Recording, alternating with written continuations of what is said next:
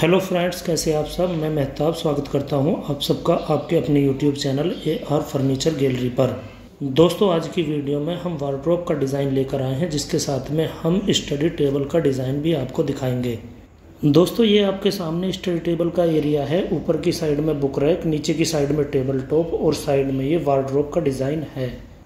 इस वार्ड्रोब के हैंडल्स को हमने सागवान की लकड़ी से तैयार किए हैं। हैंडल के पीछे की साइड में राउटर से कटिंग करके पकड़ने का स्पेस बनाया गया है।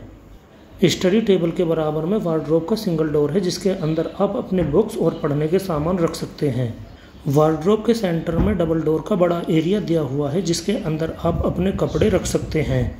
वार्ड्रोब के साइड बोर्ड पर प्रोफ़ाइल लाइट दी हुई है, जिससे वार्ड्रोब यूज़ करने में आसानी हो सके। और यहाँ पर सेंटर में दो ड्रॉर दी हुई हैं।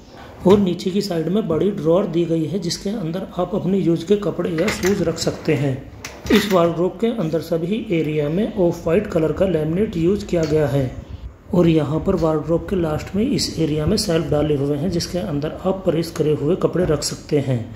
वार्ड्रोब के हैंडल को इस हाइट तक रखा गया है जहाँ तक हैंडल्स पकड़ने में यूज़ होते हैं। इन हैंडल्स के साइज़ की बात करें तो ये ढाई इंच की मोटी लकड़ी और हाइट में तीन फीट तक है। यहाँ पर स्टडी टेबल वाले एरिया में ऊपर की साइड में बॉक्स बनाकर डबल डोर दिए हुए हैं, जिसको हम नीचे से पकड़कर खोल सकते हैं। इसके अंदर बुक स्टोरेज करने के लिए ज़रूरत के हिसाब से सेल्फ डाले हुए हैं। यहाँ पर ये टेबल टॉप इसके नीचे दो ड्रॉर दी गई हैं, जिसके अंदर आप अपने पेन और लिखने पढ़ने के और भी बहुत सारे ज़रूरत के सामान रख सकते हैं। दोस्तों, किसी भी टेबल की हाइट तीस इंची तक रखी जाती है, क्योंकि ये स्टैंडर्ड टेबल का साइज़ होता है। दोस्तों, आज का वीडियो अच्छा लगा हो तो हमारी वीडियो को लाइक कर दें। आप हमारे चैनल पर नए हैं तो चैनल को सब्सक्राइब करना ना भूलें। हम आने वाली वीडियो में आपसे फिर मिलेंगे। Good bye